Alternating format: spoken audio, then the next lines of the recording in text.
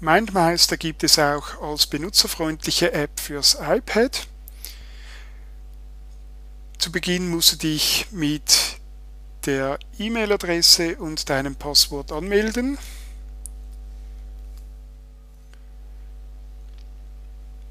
Und sogleich werden dir deine Mindmaps auf das iPad geladen. Bevor wir auf die einzelnen Funktionen eingehen, zunächst einmal die Verwaltungsoberfläche. Du hast auf der linken Seite alle Mindmaps. Im Moment bei mir sind schon einige vorhanden. Mit Editieren kannst du einzelne auswählen, in einen Ordner verschieben oder eben löschen. Die im Moment ausgewählte Mindmap lässt sich auch hier in der Übersicht entweder per Mail teilen oder eben duplizieren, drucken oder bei Bedarf auch löschen oder speziell markieren, damit du sie schneller wiederfindest. Eine neue Mindmap zu erstellen ist ebenfalls keine Kunst. Mit einem Klick auf das Plus kannst du entweder einen neuen Ordner oder eben eine neue Map erstellen. Es werden wir die wichtigsten Funktionen schon erklärt, darauf kommen wir gleich.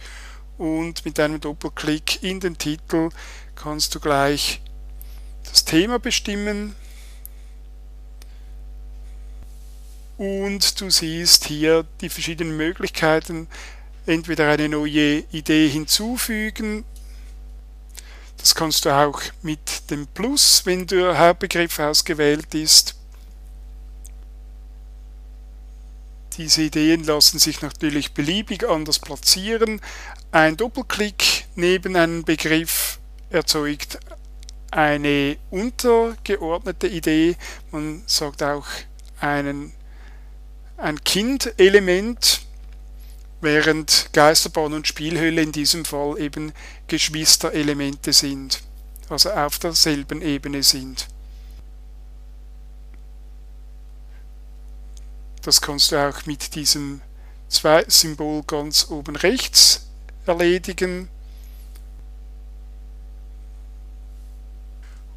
Und falls du merkst, dass eine Idee an eine andere Stelle gehört, kannst du sie gedrückt halten und einem anderen Hauptast zuweisen.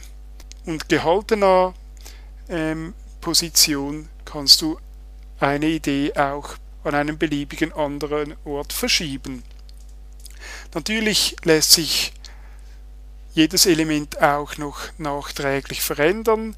Mit einem Klick darauf gehen die Optionen auf, du kannst eine Farbe geben, Symbole hinzufügen, du kannst es kopieren oder löschen, du kannst Verbindungen ziehen, du kannst über dieses Pinselsymbol auch die Schriftart und Größe ändern, die Rahmenart und Farbe sind ja also beliebige Gestaltungsmöglichkeiten offen. Das Schema betrifft die ganze Mindmap. Hier hast du schon vorgegebene Styles, die dann eben die ganze Mindmap betreffen. Allenfalls interessant ist auch das Büroklammer-Symbol. Hier kannst du Notizen hinterlassen, beispielsweise wenn man noch die Materialien notieren möchte für, einen, für eine bestimmte Idee.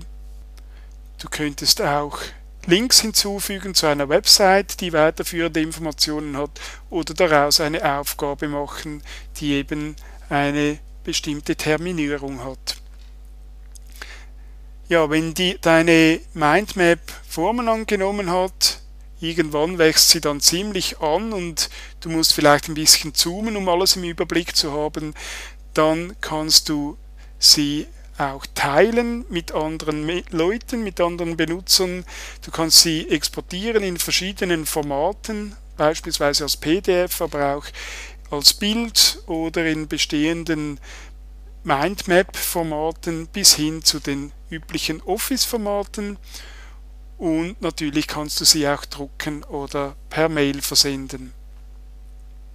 Ja, und damit denke ich, sind die wichtigsten Funktionen eigentlich schon erklärt. Ich wünsche dir viel Erfolg bei der Arbeit mit dieser tollen App.